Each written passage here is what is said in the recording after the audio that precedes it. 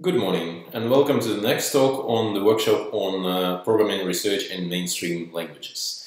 Now we will talk about hidden mainstream and languages that are used on the mainframe. My name is Vadim Zaytsev, I'm also known as Grammarware. I have worked in uh, research in several institutions, mostly focusing on software evolution, software languages, and quite often publishing about grammars in a broad sense. I have also worked several years in the industry in companies like Raincode and Raincode Labs, where we were mostly busy with legacy systems. In particular, uh, we were uh, looking at very, very big code bases and migrating them either to a different platform, to a different language, and so forth. So, since uh, a couple of uh, days ago, I am an associate professor at the University of uh, Twente, and before that, I was then, uh, the chief science officer of this Raincode and Raincode Labs. Uh, so this is just to uh, to give you some evidence that I'm not uh, completely inventing all the strange things that I will be telling you that I have uh, seen them with my own eyes. Uh, in general, I'm Googleable under the name of Grammarware. This wonderful picture I have taken at the Deutsches Museum in Munich last year, and this is the, one of the most famous mainframe computers. So this is IBM System 360. So let's talk about the languages that we used on this uh, mainframe and let's choose and pick because there are too many of those and I only have half an hour for you. So COBOL. COBOL is the obvious choice, everybody has heard of it and it's a language that was designed by a committee but the advisor for it was uh, the famous Grace Murray Hopper, inventor of you know, compilation, oh, automated compilation by, uh, by a computer, and a designer of some other languages. It is extremely verbose, it looks like English, and it is surprisingly readable. Even if you take very, very old COBOL code uh, now, you can just read it without any preparation, unlike uh, Perl or uh, even Java or Haskell. Uh, it's very hard to find any empirical fodder for it. Well, very little COBOL is, is open source. And closed source portfolios are huge. And not only because of the verbosity of the language, because verbosity usually stands within one uh, statement, and I'm talking about the number of statements. And also COBOL is extremely hard to implement. It has a very large grammar. Yes, it's readable, but it's readable by a human. It also has a lot of uh, subclauses in each and every single one of its uh, statements. It has a lot of statements, it has complex semantics to, uh, to implement it, so there are not that many uh, COBOL compilers around. Not all languages are created equal, right? Speaking of which, let's, let's talk about uh, language generations.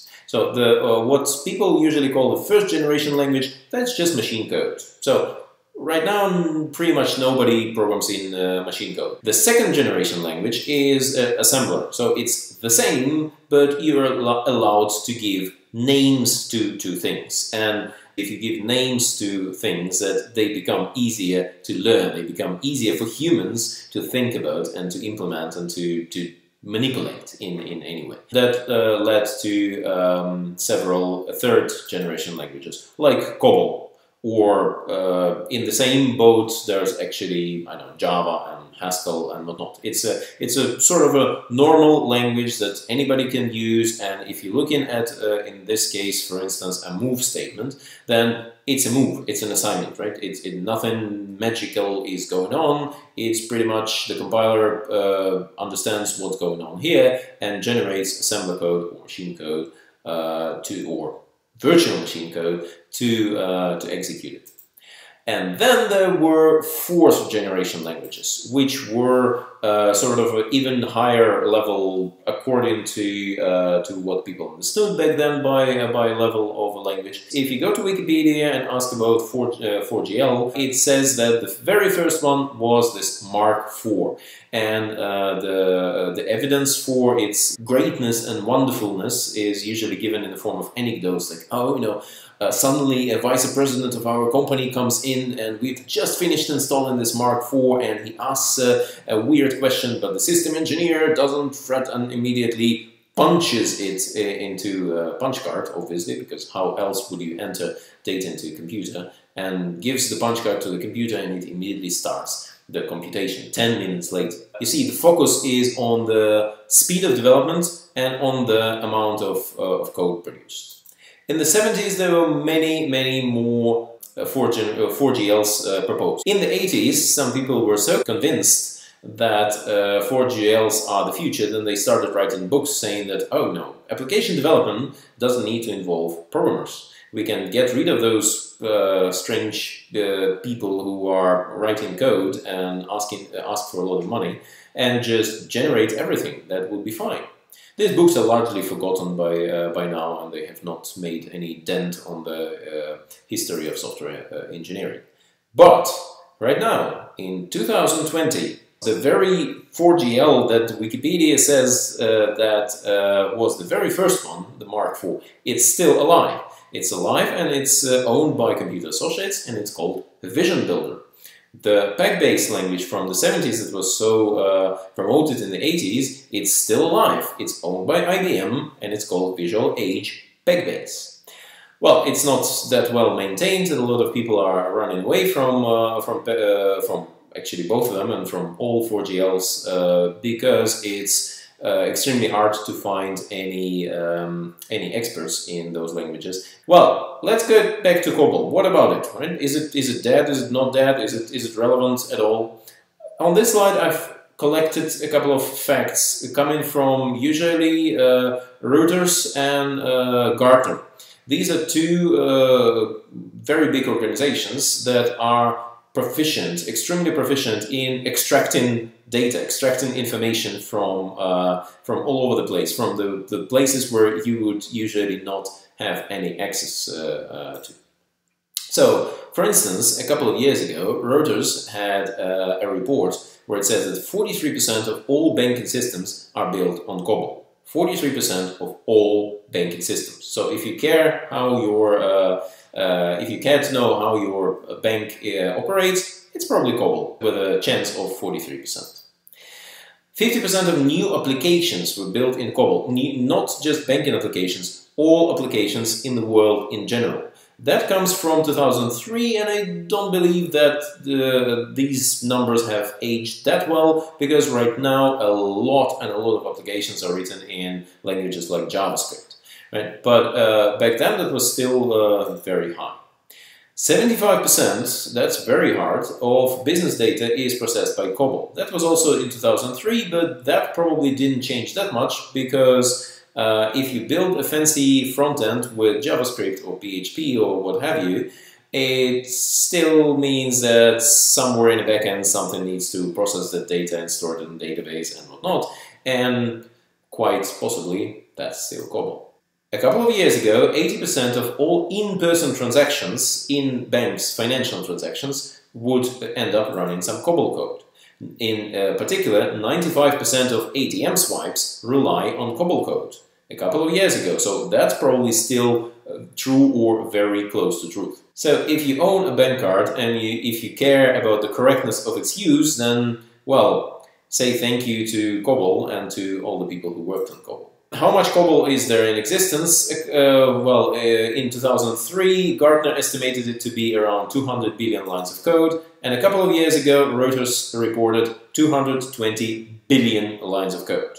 That is quite a lot. So the difference between a billion and a million, as you know, is absolutely massive. So, it, uh, I mean, in, in our minds, these are very uh, similar words, but uh, it having this much code basically means that even if we have some newer technology and some better languages that can maybe allow us to write uh, programs a little bit shorter, and even all the programmers in the world stop everything that they're doing and just rewrite whatever COBOL is in existence, they will be busy for several years.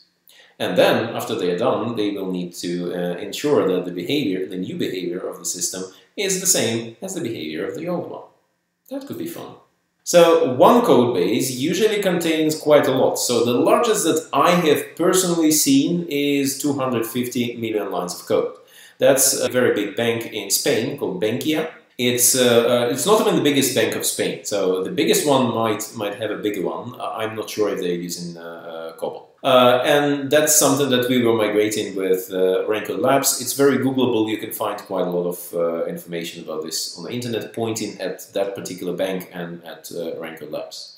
The largest code base that I have seen reported and talked about was of Bank of New York Mellon. which contained 343 million lines of code uh, eight years ago. So by now, the, this bank is still known to hire COBOL programmers. So they uh, still have it, uh, and probably it has grown by now a little bit.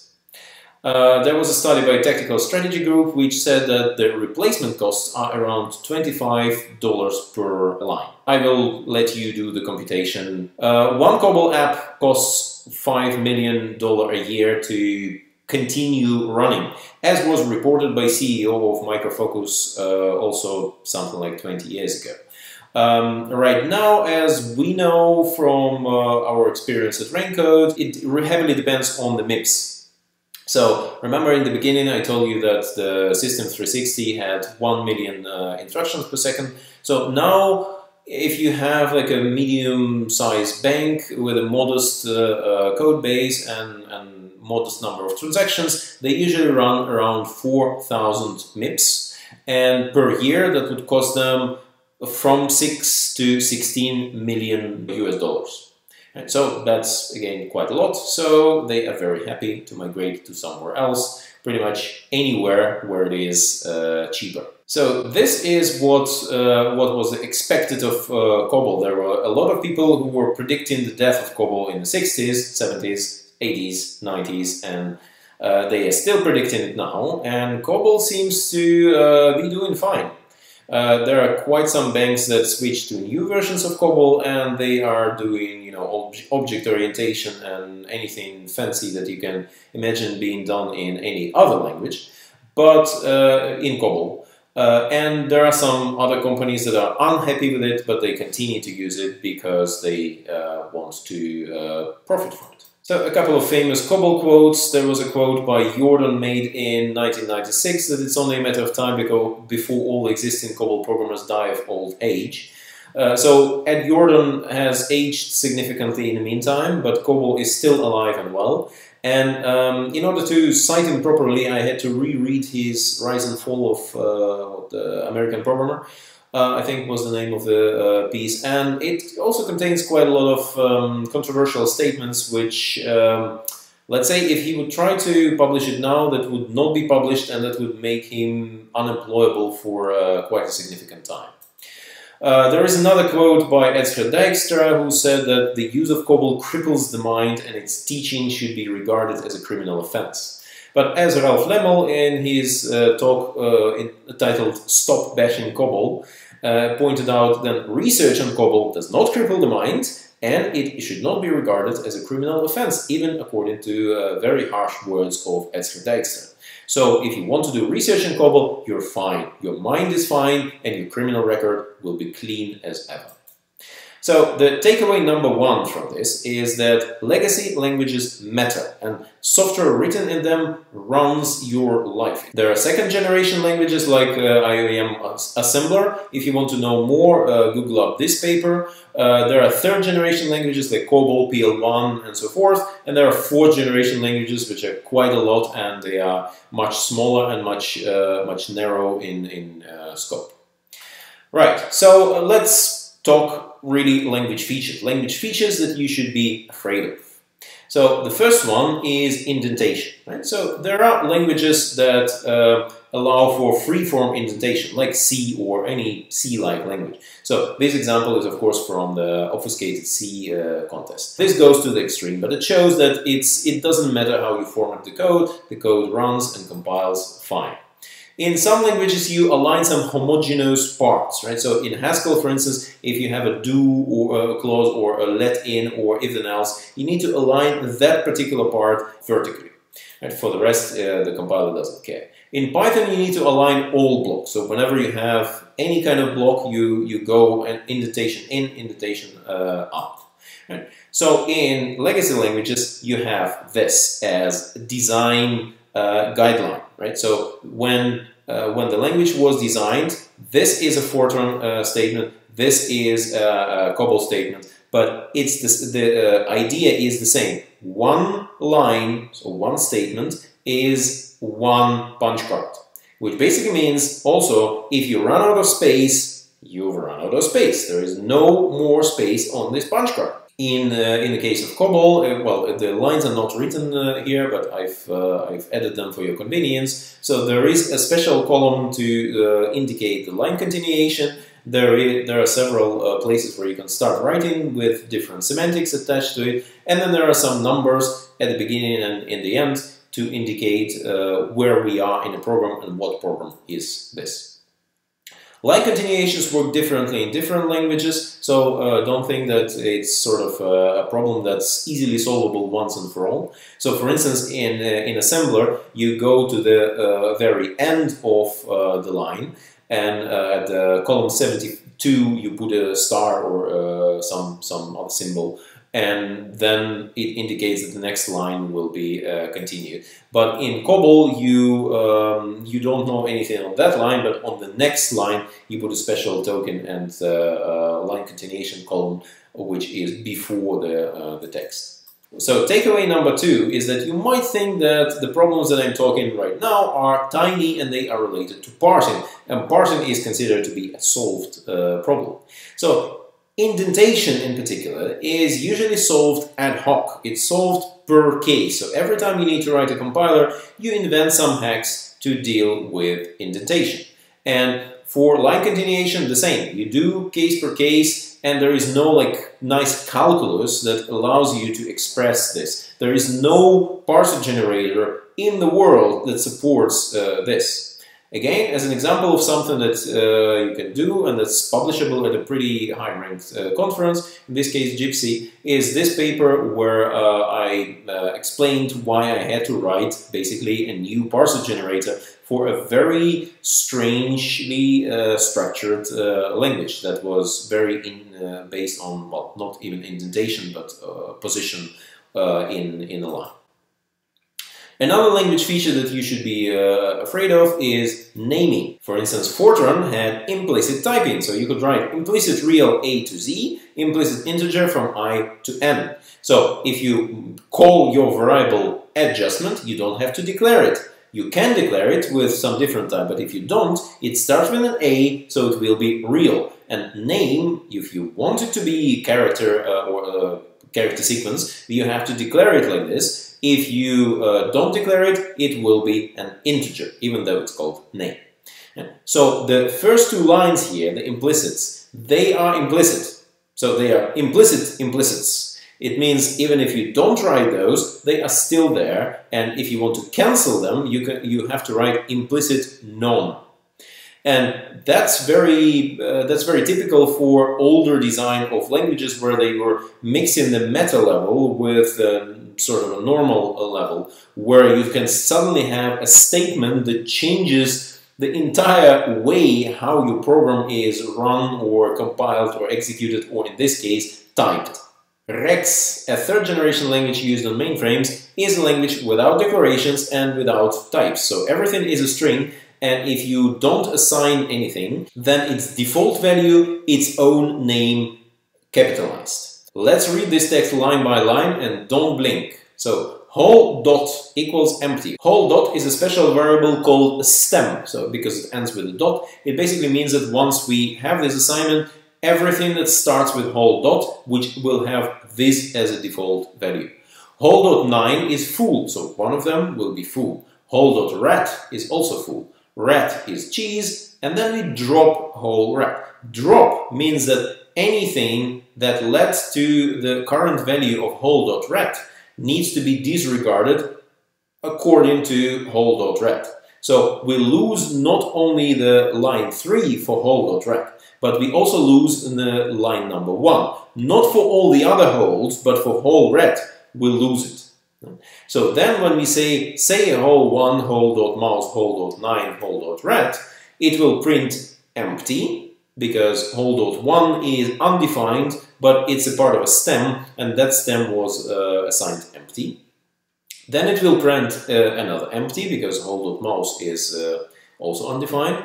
Hole dot 9 is assigned to full at line 2, so it will be full. And then hole.ret was dropped. So the hole dot for hole.ret only is undefined, so it means that it will be caps lock hole dot and then rat is defined, so it will come in here and it will be dot cheese. And this example they really use in the very documentation of the language. So this is an example that is supposed to explain things to you and is supposed to make things easier to understand. Enjoy. So in App Builder, names are not unique. So if something is called A, it doesn't mean that it's the same A all over the place. In particular, you're going to have a sentence called map A in A to A in A. Because if it's in, then it's obviously that it's a set item and a set, and if it's an off, it's obvious that this is a field and a view. In PL1, you probably know this because there's a famous anecdote. In PL1, keywords are not reserved words. So you can call your variable then, else, or if, and then write something like if then equals else, then else equals if, else if equals then. This is compilable code. Well, if you have a DCL block where, you declare these uh, variables to be of, uh, of the right type, then it will run. I've checked it with the Raincode PL1 uh, compiler. However, the second level of the joke here is that on the first uh, line, the equal sign means comparison, and on line 2 and 3, it means uh, assignment. Enjoy. COBOL has contractions, so if you write move 42 to x of y, normally it would mean in, let's say, Java notation y dot x, but it can mean that basically there is an x which we want to assign something to, and somewhere up the tree there is a y. So there may be several steps between y and x, but y needs to be an ancestor of uh, x. It doesn't have to be the root. So the compiler needs to basically go all around the symbol table, try to find out if there is a y that has a, a, a descendant node called, uh, called x. And if there are multiple of them, it must complain and stop the compilation. But if there is only one, then it must work. What's even worse, you can contract conditions in uh, COBOL and then write something if x is greater than 0 and equals to y or z then do something. And so in this case, it uh, means that if you say just and equals, then you're still talking about the left-hand side that you've been talking there. And you can even skip the comparison operator as well. The next language feature to be afraid of is called lexical import. So imports in Haskell work very straightforwardly because it's a well-designed language. So if you say import data maybe, then it imports everything that's from that module into your own namespace. If you say import qualifying, it imports it but keeps the qualifier. And if you import something, you can also you can do it hiding something, and then uh, it will disregard some of the contents of that uh, thing. In Python, it's exact opposite. So when you import without saying anything, you're importing it with a qualifier. If you import it as something, then you import it uh, into your uh, namespace as a particular name. And if you want it really in your namespace without any name, then you say from library import star. And that way you can also say from library import something very specific. And then, uh, so it's, it's then the, the opposite of uh, hiding in, uh, in Haskell. However, in COBOL, this is what you write. This is a real COBOL code running in production somewhere. I'm not saying where. And it's obfuscated, right? So I may or may not have uh, changed some, uh, some names and some positions. Uh, but what happens here is that it goes, it, well, copy is, uh, is the import in uh, COBOL. So when you say copy something, it looks up for that file, and if you don't say replacing, it just takes that file and imports it. Uh, but if you say replacing, it takes that file, the textual content of that file, and it, it does a flat textual level replacement. So in this particular case, they thought that this is uh, uh, this is safe, but just imagine the first uh, copy running twice, and then everything will uh, will break. So the last language feature that you should be afraid of is, of course, transfer of control, because there are different ones. So you think that GoTo is considered harmful. If you think so, well, try alter. So in, uh, let's suppose that we have this uh, piece of COBOL code, which, well, procedure division basically means from now on there will be code, data is uh, somewhere above that, and we have several paragraphs here, exit on error, exit update record, and exit rollback record. Paragraphs are basically like methods or uh, you know, routines. An exit on error contains only one go-to statement which says go to exit update record. In COBOL, you can also say alter exit on error to exit rollback record, which basically means that alter exit on error, so we will go to the uh, paragraph called exit on error, we will expect to find a go-to statement right in there, and we will change the target of that go-to into something else at runtime. You can do it multiple times, and if you have different uh, priority uh, levels of uh, programs, then it might even come back to its original state. If you want more, then uh, yeah, go to plus enter is, is a good thing. Also read uh, about uh, different kinds of computed go-tos in Fortran. It's very interesting, very educational. And then there is an execute thing in, in assembler of IBM, which really promotes writing self-modifying code, which is of course very nice of them. And structured uh, transfer of uh, control, you have next sentence in COBOL, which transfers control to the end of the sentence. And sentence is a bunch of one or more statements. So in COBOL, there is something between a statement and, uh, and a paragraph, which pretty much never exists in any other languages.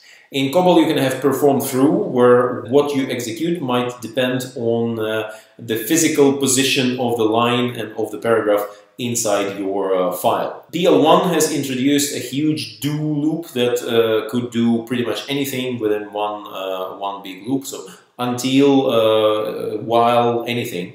And App Builder took it even further, so in App Builder, while and until and uh, variant and, and, index and whatnot, all these clauses, they become an actual statement which is only valid inside the do block. So you can uh, have your while statement, for instance, not in the beginning, not at the end, but somewhere in the middle of your uh, of your loop. How cool is that? And if you want something even more cool, then look at uh, exception handling in REXX, which is called Signal. Takeaway number three is that contrary to uh, commonplace uh, expectation, documentation is quite usually is available and sometimes even free. When you're reading it, read it very, very carefully. Do not blink, do not fall asleep, do not skip a single line because things, that, well, terms that you might recognize will mean something else. And uh, things that you think are familiar will work very differently. So always expect the unexpected and you will still be surprised and for research, this is all good. This is all, it's full of challenges, it's full of very strange, bizarre things that have not been solved before that there is an industrial need to solve. And if you want to know more, try to read this uh, paper where I tried to really make a nice narrative explaining why, for instance, 4GLs are not good as DSLs and what challenges do you come across when you are really writing and developing a, a compiler for, uh, for a legacy language. So the mega conclusion of all this is that your life is run by COBOL and uh, to some lesser extent by other mainframe languages. If you do some banking, if you do some booking, some ordering, then this is all COBOL, or well, not all, but somewhere between half of it and all of it is COBOL. In order to uh, bring the researchers back to their comfort zone, I have uh, developed a language called Baby COBOL. Uh, the website is still in uh, work in progress, but you can uh, uh, you can visit it now or later. and it's basically a very tiny language which has very small number of statements, and each of these statements is extremely simple, and still it represents one particular problem that uh, is taken and condensed into its minimal form from some language like COBOL or REXX or PL1. And in general, mainframe languages are great for researchers because they hide many challenges and that's a good thing. You can, you can solve these challenges in a fundamental way. You actually, as researchers, you have the capabilities, you have the time, you have the resources, and you have all the fancy frameworks to actually do that. So please go there, explore, and have fun. I'm Grammarware. Uh, Google me up and follow me on uh, all the places where you find me. Thank you for your attention. And now, if you're watching during the workshop, I will be very happy to answer your questions.